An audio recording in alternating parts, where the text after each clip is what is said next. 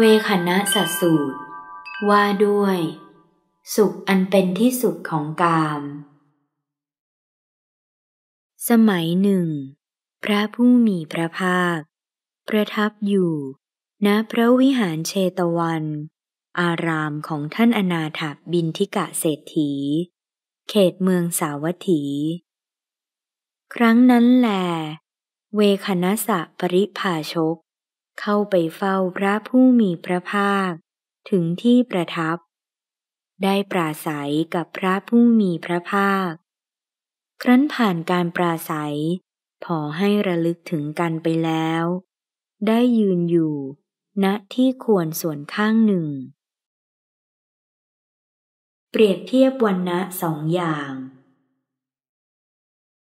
เวคณสะปริภาชก ยืนอยู่ ณที่ควรส่วนข้างหนึ่งแล้ว ได้เปล่งอุทานในสำนักพระผู้มีพระภาคว่า นี้เป็นวันณะอย่างยิ่ง นี้เป็นวันณะอย่างยิ่ง พระผู้มีพระภาค ตรัสถามว่า ดูกระกัจจานะทำไมท่านจึงกล่าวอย่างนี้ว่า นี้เป็นวันณะอย่างยิ่ง นี้เป็นวันณะอย่างยิ่ง ดังนี้ ก็วันนะอย่างยิ่งนั้นเป็นไฉนข้าแต่ท่านพระโคดม วันณะใดไม่มีวันณะอื่นยิ่งกว่า หรือประณีตกว่า วันณะนั้นเป็นวันณะอย่างยิ่ง ดูกระกัจจานะวันณะไหนเล่า ที่ไม่มีวันณะอื่นยิ่งกว่า หรือประณีตกว่าข้าแต่ท่านพระโคดม วันณะใดไม่มีวันณะอื่นยิ่งกว่าหรือประณีตกว่า วันณะนั้นเป็นวันณะอย่างยิ่ง ดูกระกัจจานะ ท่านกล่าวแต่เพียงว่า ข้าแต่ท่านพระโคดม วันณะใดไม่มีวันณะอื่นยิ่งกว่า หรือประณีตกว่า วันณะนั้นเป็นวันณะอย่างยิ่ง ดังนี้ วาจานั้นของท่าน พึงขยายออกอย่างยืดยาว แต่ท่านไม่ชี้วันณะนั้นได้ ดูกระกัจจานะ เปรียบเหมือนบุรุษพึงกล่าวอย่างนี้ว่า เราปรารถนารักใคร่ นางชนบทกัลยาณีในชนบทนี้ คนทั้งหลายพึงถามเขาอย่างนี้ว่า พ่อ นางชนบทกัลยาณีที่พ่อปรารถนารักใคร่นั้น พ่อรู้จักหรือว่า เป็นนางกษัตริย์ พรามณี แพทย์ หรือสูตร เมื่อเขาถูกถามดังนี้แล้ว เขาพึงตอบว่า หามิได้ คนทั้งหลายพึงถามเขาว่า พ่อ นางชนบทกัลยาณีที่พ่อปรารถนารักใคร่นั้น พ่อรู้จักหรือว่า นางมีวันณะอย่างนี้ มีโคดอย่างนี้ เมื่อเขาถูกถามดังนี้แล้ว เขาพึงตอบว่า หาไม่ได้ คนทั้งหลายพึงถามเขาว่า พ่อ นางชนบทกัลยาณีที่พ่อปรารถนารักใคร่นั้น พ่อรู้จักหรือว่า สูง ต่ำ หรือพอสันทัดดำขาว หรือมีผิวคล้ำ อยู่ในบ้าน นิคม หรือนครโน้น เมื่อเขาถูกถามดังนี้แล้ว เขาพึงตอบว่า หามิได้ คนทั้งหลายพึงกล่าวกับเขาว่า พ่อ ปรารถนารักใคร่หญิงที่พ่อไม่รู้จัก ไม่เคยเห็นนั้นหรือ เมื่อเขาถูกถามดังนี้แล้ว เขาพึงตอบว่า ถูกแล้ว ดูกระกัจจานะ ท่านจะสำคัญความข้อนั้นเป็นไฉนเมื่อเป็นเช่นนี้คำกล่าวของบุรุษนั้น ถึงความเป็นคำใช้ไม่ได้มิใช่หรือ แน่นอน พระโคดมผู้เจริญ เมื่อเป็นเช่นนั้นคำกล่าวของบุรุษนั้น ถึงความเป็นคำใช้ไม่ได้ ดูกระกัจจานะ ข้อนี้ฉันใด ท่านก็ฉันนั้นแหลกล่าวอยู่แต่ว่า ข้าแต่พระโคดม วันณะใดไม่มีวันณะอื่นยิ่งกว่า หรือประนีตกว่า วันณะนั้นเป็นวันณะอย่างยิ่ง ดังนี้ แต่ไม่ชี้วันณะนั้น ข้าแต่ท่านพระโคดม เปรียบเหมือนแก้วไพฑูรย์อันงาม เกิดเองอย่างบริสุทธิ์แปดเหลี่ยม นายช่างเจรไนยดีแล้ว เขาวางไว้ที่ผ้ากำพลแดงย่อมสว่างสวัยส่องแสงเรืองอยู่ ฉันใด ตัวตนก็ฉันนั้น เมื่อตายไปย่อมเป็นของมีวันนะไม่มีโรค ดูกระกัจจานะ ท่านจะสำคัญความข้อนั้นเป็นไฉนแก้วไพฑูรย์อันงามเกิดเอง อย่างบริสุทธิ์แปดเหลี่ยม นายช่างเจรนายดีแล้ว เขาวางไว้ที่ผ้ากำพลแดง ย่อมสว่างสวัยส่องแสงเรืองอยู่หนึ่งมแมลงหิ่งห้อยในเวลาเดือนมืดในราตรีหนึ่งบรรดาวันณะทั้งสองนี้วันณะไหนจะงามกว่า และประณีตกว่ากัน ข้าแต่ท่านพระโคดม บรรดาวันณะทั้งสองนี้ มแมลงหิ่งห้อยในเวลาเดือนมืด ในราตรีนี้ งามกว่าด้วย ประณีตกว่าด้วย ดูกระกัจจานะ ท่านจะสำคัญความข้อนั้นเป็นไฉนมแมลงหิ่งห้อยในเดือนมืด ในราตรีหนึ่ง ประทีปน้ำมันในเวลาเดือนมืด ในราตรีหนึ่ง บรรดาวันณะทั้งสองนี้วันณะไหนจะงามกว่า และประณีตกว่ากัน ข้าแต่ท่านพระโคดม บรรดาวันณะทั้งสองนี้ ประทีปน้ำมันในเวลาเดือนมืด ในราตรีนี้ งามกว่าด้วย ประณีตกว่าด้วย ดูกระกัจจานะ ท่านจะสำคัญความข้อนั้นเป็นไฉนประทีปน้ำมันในเวลาเดือนมืด ในราตรีหนึ่งกองไฟใหญ่ในเวลาเดือนมืด ในราตรีหนึ่งบรรดาวันณะทั้งสองนี้ วันณะไหนจะงามกว่า และประณีตกว่ากัน ข้าแต่ท่านพระโคดม บรรดาวันณะทั้งสองนี้ กองไฟใหญ่ในเวลาเดือนมืด ในราตรี งามกว่าด้วย ประณีตกว่าด้วย ดูกระกัจจานะ ท่านจะสำคัญความข้อนั้นเป็นไฉน กองไฟใหญ่ในเวลาเดือนมืด ในราตรีหนึ่งดาวพระศุกร์ในอากาศอันกระจ่าง ปราศจากเมฆในเวลาใกล้รุ่งแห่งราตรีหนึ่งบรรดาวันณะทั้งสองนี้ วันณะไหนจะงามกว่า และประณีตกว่ากัน ข้าแต่ท่านพระโคดม บรรดาวันณะทั้งสองนี้ ดาวพระศุกร์ ในอากาศอันกระจ่าง ปราศจากเมฆในเวลาใกล้รุ่งแห่งราตรีนี้ งามกว่าด้วยประณีตกว่าด้วย ดูกระกัจจานะ ท่านจะสำคัญความข้อนั้นเป็นไฉนดาวพระศุกร์ในอากาศอันกระจ่าง ปราศจากเมฆในเวลาใกล้รุ่งแห่งราตรีหนึ่งดวงจันทร์ในเวลาเที่ยงคืนตรง ในอากาศอันกระจ่าง ปราศจากเมฆในวันอุโบสถที่สิบห้าหนึ่งบรรดาวันณะทั้งสองนี้วันณะไหนจะงามกว่าและประณีตกว่ากัน ข้าแต่ท่านพระโคดม บรรดาวันณะทั้งสองนี้ ดวงจันทร์ในเวลาเที่ยงคืนตรง ในอากาศอันกระจ่างปราศจากเมฆในวันอุโบสถที่สิบห้านี้ งามกว่าด้วย ประณีตกว่าด้วย ดูกระกัจจานะ ท่านจะสำคัญความข้อนั้นเป็นไฉนดวงจันทร์ในเวลาเที่ยงคืนตรง ในอากาศอันกระจ่างปราศจากเมฆในวันอุโบสถที่สิบห้าหนึ่งดวงอาทิตย์ในเวลาเที่ยงตรง ในอากาศอันกระจ่างปราศจากเมฆ ในสรทสมัยเดือนท้ายฤดูฝนหนึ่งบรรดาวันณะทั้งสองนี้ วันณะไหนจะงามกว่า และประณีตกว่ากัน ข้าแต่ท่านพระโคดม บรรดาวันณะทั้งสองนี้ ดวงอาทิตย์ในเวลาเที่ยงตรง ในอากาศอันกระจ่างปราศจากเมฆในสรทะสมัย เดือนท้ายฤดูฝนนี้ งามกว่าด้วย ประณีตกว่าด้วย ดูกระกัจจานะ เทวดาเหล่าใด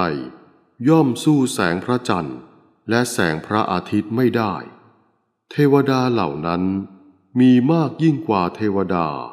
พวกที่สู้แสงพระจันทร์ และแสงพระอาทิตย์ได้ เรารู้เรื่องเช่นนั้นดีอยู่ ถึงกระนั้น เราก็ไม่กล่าวว่า วันณะใดไม่มีวันณะอื่นยิ่งกว่า หรือประณีตกว่า เมื่อเป็นเช่นนี้ ท่านก็ชื่อว่า กล่าวอยู่ว่า วันณะใดเลวกว่า และเศร้าหมองกว่าแมลงหิ่งห้อย วันณะนั้นเป็นวันณะอย่างยิ่ง ดังนี้ แต่ท่านไม่ชี้วันณะนั้นเท่านั้น ดูกระกัจจานะ กามคุณห้าเหล่านี้ กามคุณห้าเป็นไฉนคือ รูปที่พึงรู้แจ้งด้วยจักสุน่าปรารถนา น่าใคร่น่าพอใจ น่ารัก เกี่ยวด้วยกาม เป็นที่ตั้งแห่งความกำหนัด เสียงที่พึงรู้แจ้งด้วยโสดน่าปรารถนา น่าใคร่น่าพอใจ น่ารัก เกี่ยวด้วยกาม เป็นที่ตั้งแห่งความกำหนัด กลิ่น ที่พึงรู้แจ้งด้วยคานะ น่าปรารถนา น่าใคร่ น่าพอใจ น่ารัก เกี่ยวด้วยกาม เป็นที่ตั้งแห่งความกำหนัดรสที่พึงรู้แจ้งด้วยชิวหา น่าปรารถนา น่าใคร่ น่าพอใจ น่ารัก เกี่ยวด้วยกาม เป็นที่ตั้งแห่งความกำหนัด โพธัพพะ ที่พึงรู้แจ้งด้วยกาย น่าปรารถนา น่าใคร่ น่าพอใจ น่ารัก เกี่ยวด้วยกาม เป็นที่ตั้งแห่งความกำหนัด ดูกระกัจจานะ กามคุณห้าเหล่านี้แหลความสุขโสมนัสอันใด อาศัยกามคุณห้าเหล่านี้เกิดขึ้น ความสุขโสมนัสนี้ เรากล่าวว่า กามสุข ด้วยประการชนี้ เป็นอันเรากล่าวกามสุขว่า เลิศกว่ากามทั้งหลาย กล่าวสุขอันเป็นที่สุดของกามว่า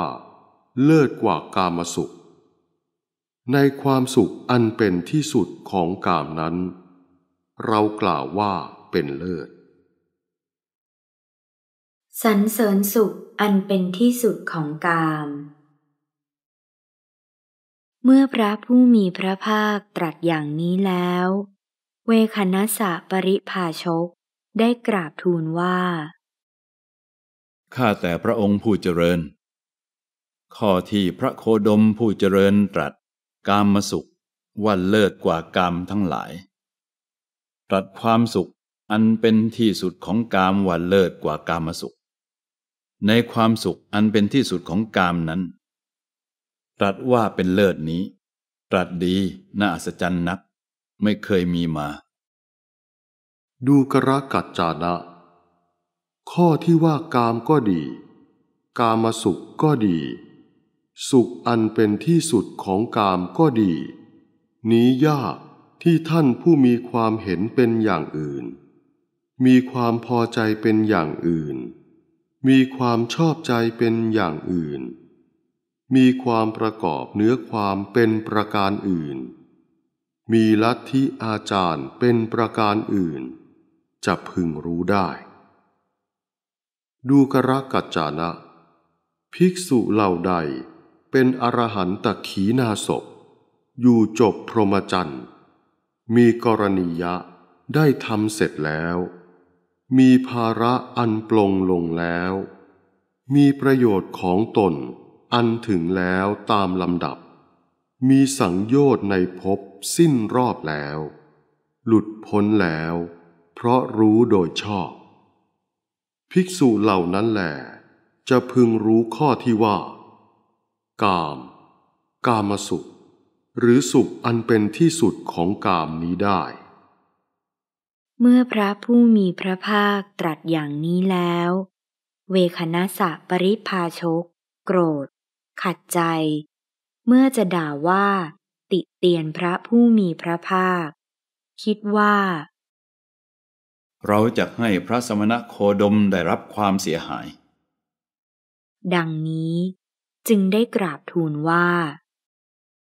ก็เมื่อเป็นเช่นนั้นสมณพราหมณ์บางพวกในโลกนี้ ไม่รู้เงื่อนเบื้องต้น ไม่รู้เงื่อนเบื้องปลาย แต่ปฏิญาณอยู่ว่า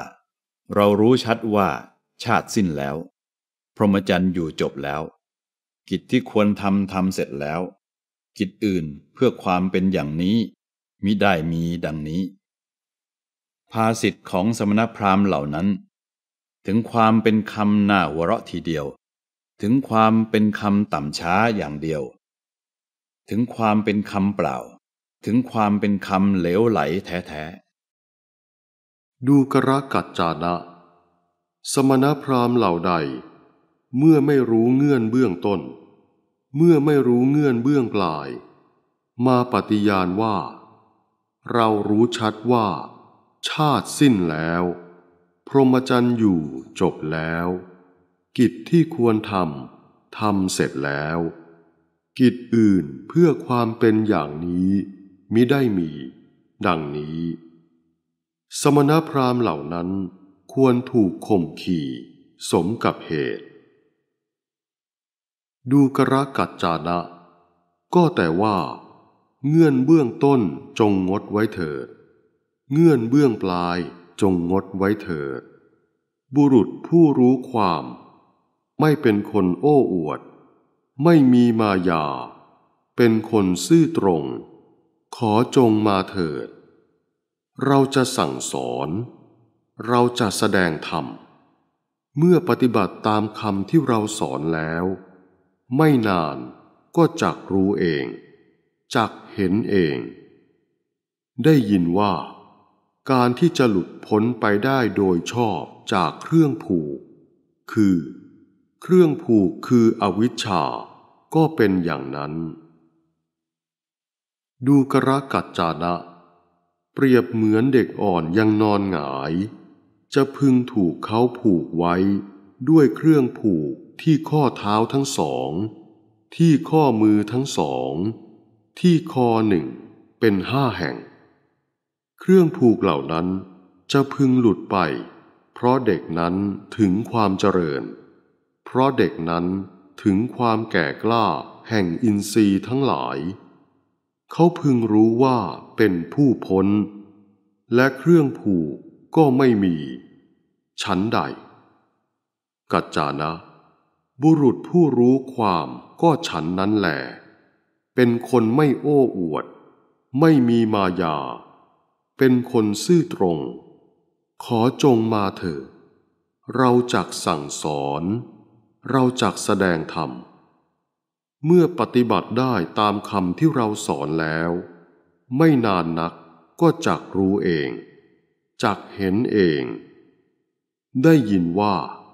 การที่จะหลุดพ้นไปได้โดยชอบจากเครื่องผูก คือ เครื่องผูกคืออวิชชา ก็เป็นอย่างนั้น